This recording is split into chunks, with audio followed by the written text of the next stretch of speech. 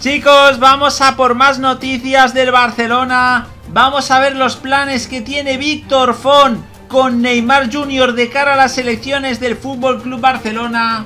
Y te vamos a revelar el crack del Barça que ha rechazado renovar por el club culé. ¡Vamos a ello!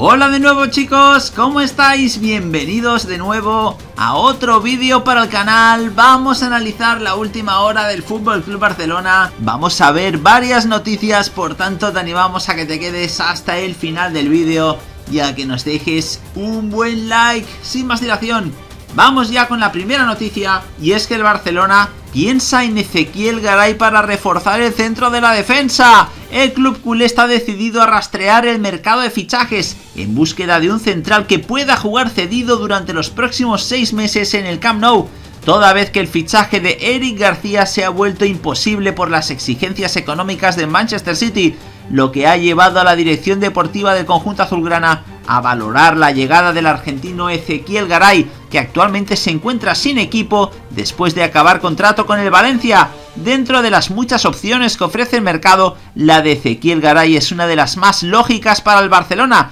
toda vez que el futbolista de 34 años podría tener así la oportunidad de seguir jugando en la liga, la cual conoce a la perfección, formando además parte de uno de los mejores equipos del campeonato, teniendo un papel bastante importante dentro de la rotación azulgrana que se encuentra a día de hoy bastante justa de efectivos con Lenglet, Gerard Piqué y Ronald Araujo como únicas piezas disponibles para Ronald Koeman. El técnico holandés sería el principal valedor de la llegada de un Ezequiel Garay que a sus 34 años podría tener una última oportunidad de jugar en la liga después de numerosos rumores acerca de su posible destino después de finalizar contrato con el Valencia en una operación obviamente a coste cero que además le serviría al futbolista sudamericano para ganar cartel de cara a un posible fichaje por algún club de cara a la temporada que viene en un movimiento beneficioso para ambas partes que podría llevarse a cabo en las próximas semanas. Por tanto, podría ser la opción B si finalmente como parece ser Eric García no pueda llegar este mes de enero. Vamos a hablar ahora chicos de Antoine Griezmann y es que durante su etapa como técnico del juvenil de la Real Sociedad el exjugador Meo Codro tuvo la oportunidad de dirigir durante dos cursos al delantero galo Antoine Griezmann. El que fuera jugador del Barcelona cree que el galo tiene la calidad oportuna para convertirse en una estrella pero no termina de ver claro si su explosión definitiva se producirá en el cuadro culé. Al respecto comentó, técnicamente era una gozada verle, tenía una zurda muy bonita, pensaba que podía ser algo, pero ni me imaginaba que podía llegar hasta aquí. Es consciente de que no está rindiendo como él puede hacerlo. El Barça es esto, si las cosas no funcionan y no rinde se genera mucha presión mediática. La bola se agranda y eso pesa sobre el jugador no tengo ninguna duda de que Griezmann es mucho más de lo que está siendo ahora. Sé lo que es capaz de hacer, lo conozco. En cualquier momento puede explotar. Con más confianza, tengo esperanza de que va a conseguirlo y acabará triunfando. Esto es lo que explicó el bosnio al diario Sport.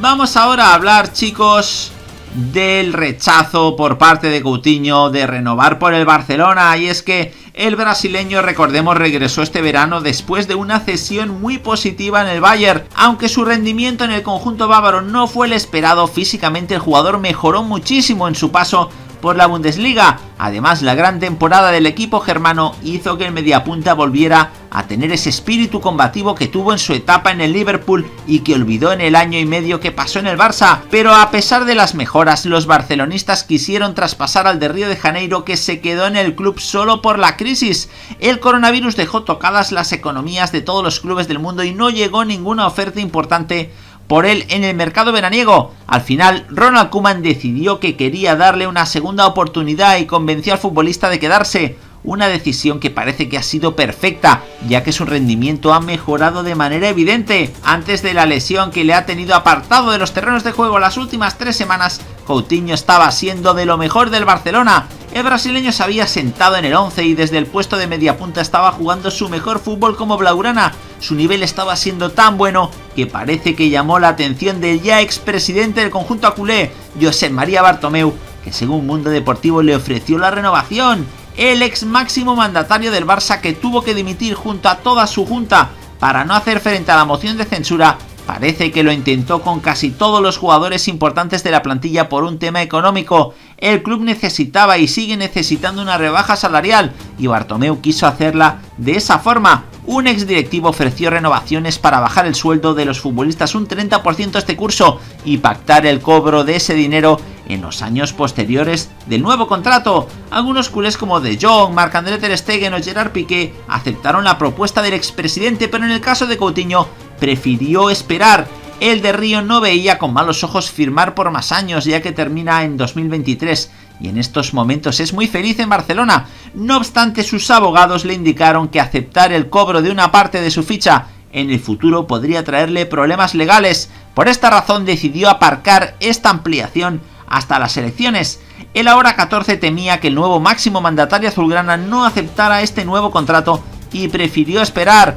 Ahora, ya casi recuperado de su lesión, intentará ganarse esa nueva firma sobre el terreno de juego. Por tanto, aquí dejamos la no renovación de Fili Coutinho. Pero como decimos, como acaba contrato en el año 2023, no hay ningún tipo de prisas. Vamos ahora a acabar, chicos, hablando de lo que ha dicho Víctor Font de Neymar Jr. Y es que las elecciones a la presidencia del Barcelona tendrán lugar el próximo 24 de enero y en ellas no habrá voto electrónico ni por correo. Del 15 al 22 está previsto que se inicie la campaña electoral, pero las entrevistas ya se suceden entre las principales opciones a ocupar el sitio de Bartomeu. El precandidato a la presidencia del Barcelona, Víctor Font, descartó este lunes volver a fichar al brasileño Neymar da Silva si gana las elecciones el próximo 24 de enero. Comentó al respecto, me consta que un jugador como Neymar encajaría perfectamente en un nuevo proyecto liderado por Xavi Hernández, admitió Fon antes de descartar su vuelta por motivos tanto económicos como institucionales.